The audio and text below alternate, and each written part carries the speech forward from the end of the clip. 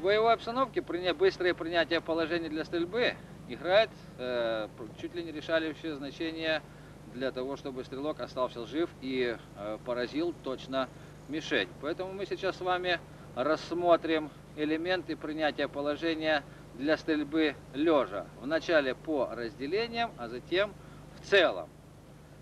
По разделениям. Лежа к бою. Делай. Раз. Делай. Два. Делай. Три. Делай. Четыре.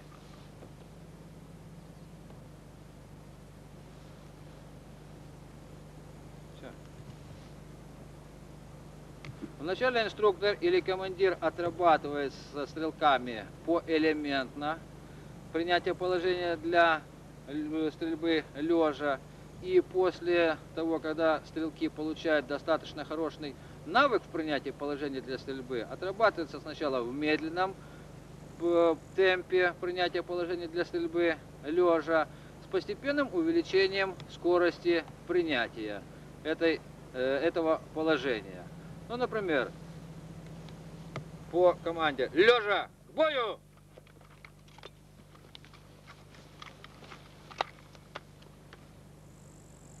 Отставить.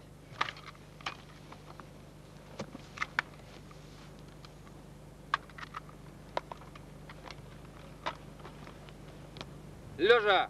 Бою!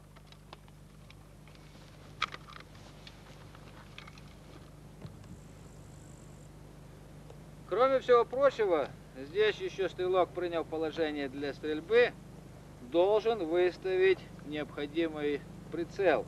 Ну, в данном случае прицел у всех стоит на П постоянном, Э, то есть э, он уже должен сразу же определять точность наведения, то есть э, дальность до мишени и вносить поправку в прицеливание.